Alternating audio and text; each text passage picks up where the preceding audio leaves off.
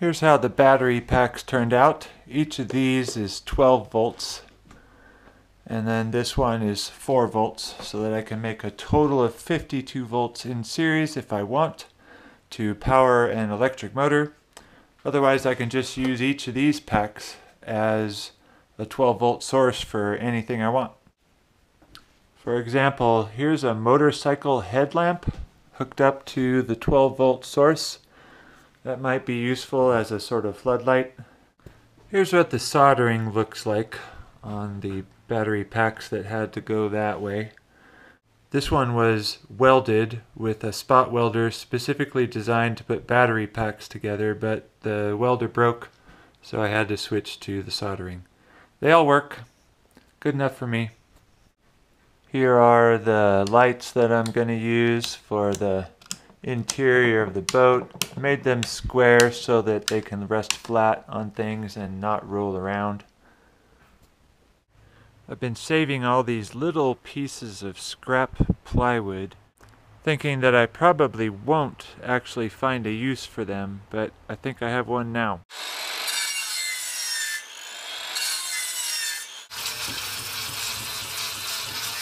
Gonna put carpet over the top so the imperfections won't really matter that much.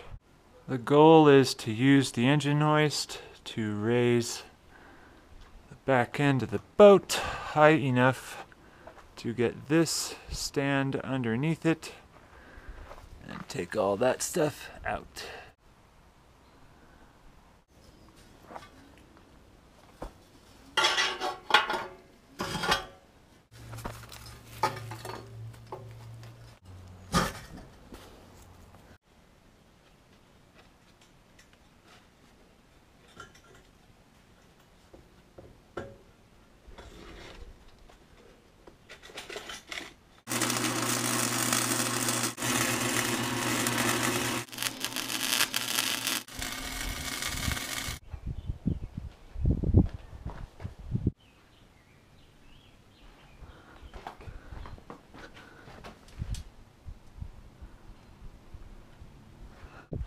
Got welds on here. And the reason for that is these bolts just aren't enough to hold so much weight. And that makes me reassured. That's the bend that's in the tube. This piece here is to prevent the legs of the supports from moving outward. It's not quite high enough to get the keel attached. That height right there is enough to get this top part of the keel on, but not enough for the bottom.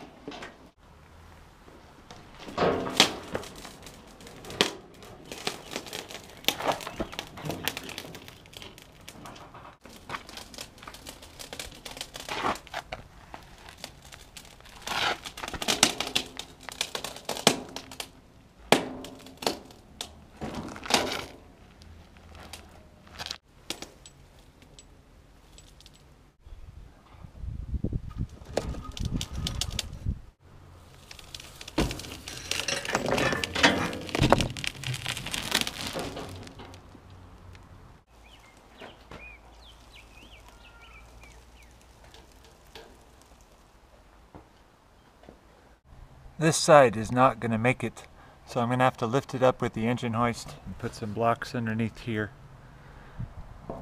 When I measured this, I actually assembled the whole thing, put it over the trailer, and marked where it sat to clear the trailer.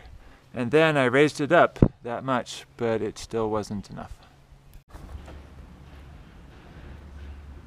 I was off by three quarters of an inch. Just use the engine hoist to do the lift. Right now the boat's Right now the weight of the boat is sitting on the engine hoist and that releases the pressure on the bar enough to make it bend back up. So later on after I get the boat on the trailer, I'm going to redo this. I'll probably raise it up like 100 millimeters or something. The bow is approximately at the same place as this cap.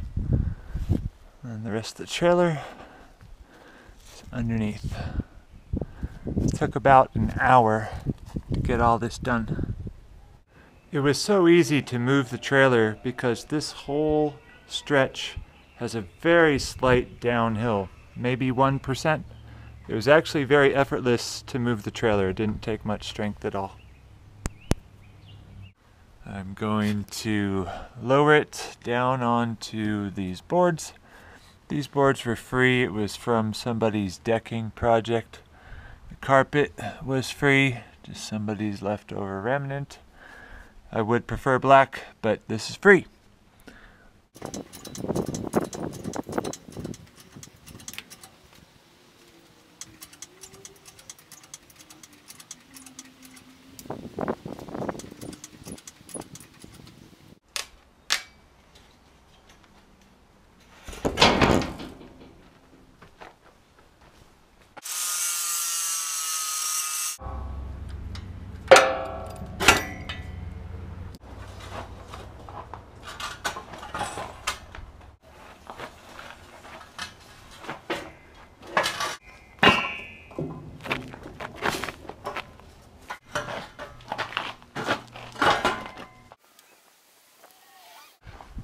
Looks like the trailer will have to go forward a little bit more.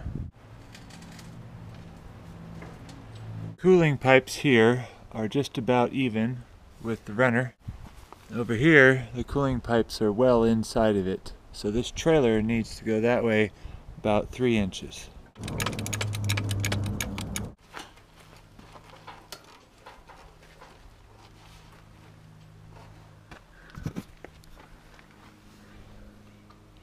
It's a little bit in. That's just a little bit in. That's perfect.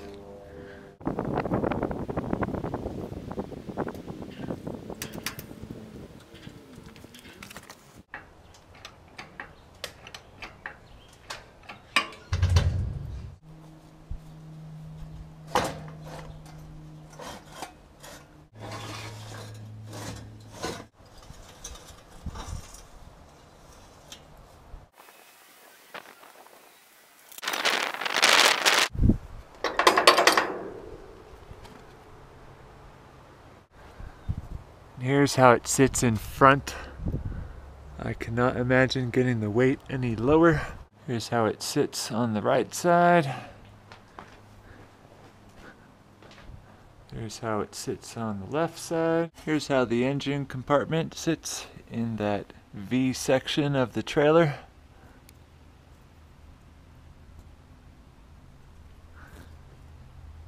I've got the trailer up on blocks for right now just to spare the tires the weight while it sits until I'm actually ready to tow it. That's pretty much it for the videos about the construction of the boat. Got it on the trailer, it's ready to go. I just need to winch it out of the carport and around to the front of the property, spin it around. Here's the winch I'm going to use.